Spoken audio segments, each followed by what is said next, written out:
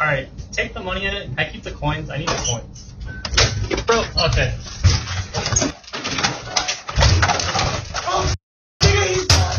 i'm dead i'm dead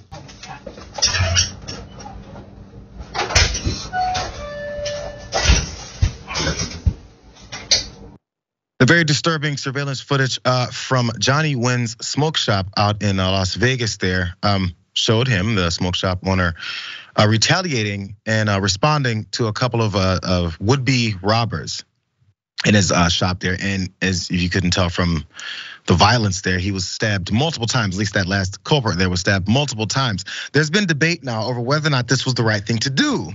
And that's where the interesting part about this whole thing goes outside of the stabbing that was involved there. Uh, but before we get into those details and back and forth and debate that's happening, there was a lot more full uh, video to this and how they approached and everything that happened. Let's watch the full thing that happened.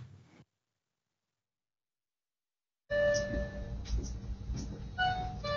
guys, Huh? why are you guys wearing masks like that? Say what? Can you guys just leave? Nah. What do Jacob. Wait. Can I just get the? All right, take the money in it. I keep the coins. I need the coins. Bro, okay.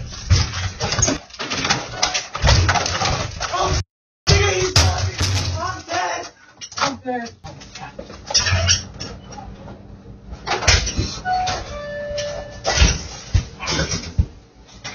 Don't let me die, sir.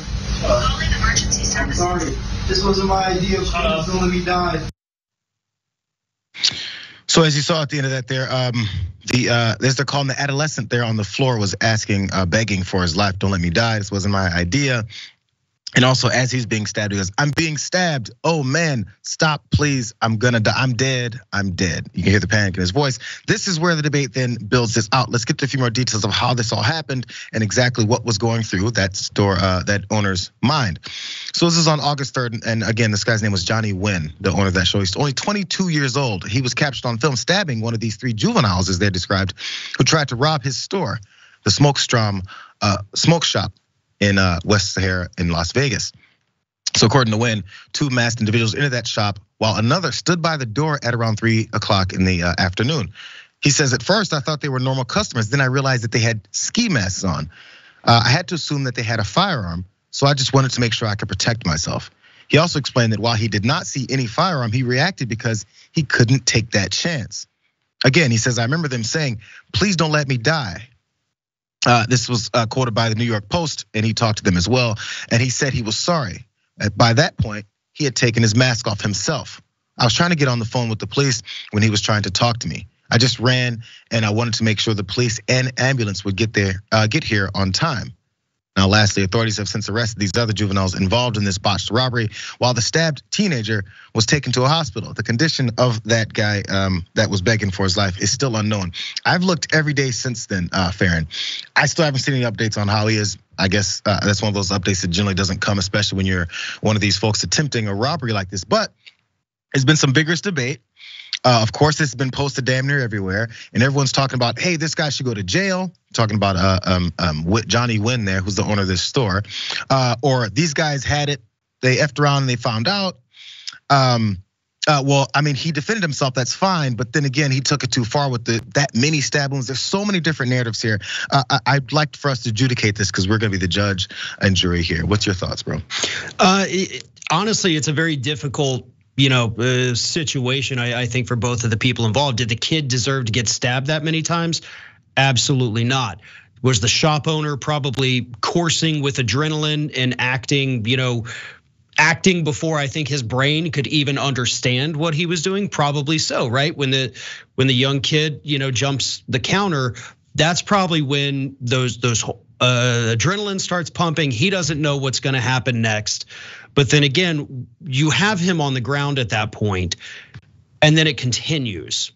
And at that point, you've overstepped, right? You you've taken this too far. You're the aggressor at that point, you know. And you, at one point, you he drags him to the door of the store. And this was after the kid was already clearly incapacitated.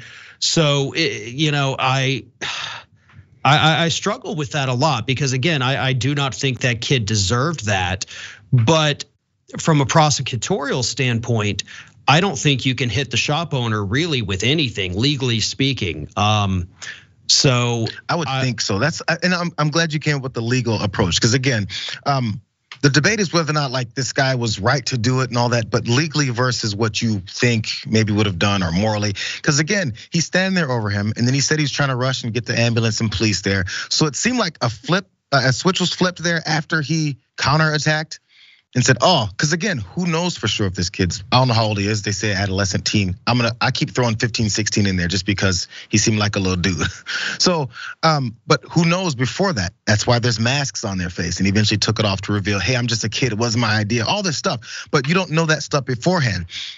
And it's something, this is a personal thing for me. There's something about stabbing that's a little bit skin crawling for me. And you gotta also thinking about the trauma that Johnny Nguyen's gonna be going through. I mean, you stab the guy multiple times because you don't know what's gonna happen. You don't know, if you're about to die, all these things just it's a split second decision. This is traumatic for him too.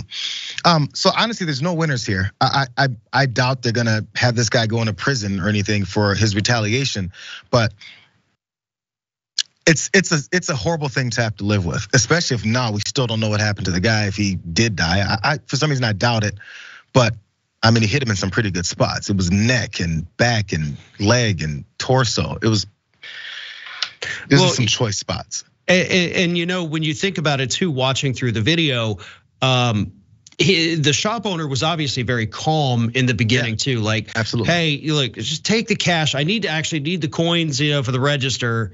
Um, he he was understanding to the point where it's like, okay, look, I'm being robbed. I'm just going to cooperate. I've got insurance, you know, whatever. Mm-hmm. Um, and then the jumping of the counter again. I think that's like you're saying. That's when the switch went off, and then clearly the switch went the other way when he realized, oh my God, what have I done? And especially, I think the kid taking off the mask.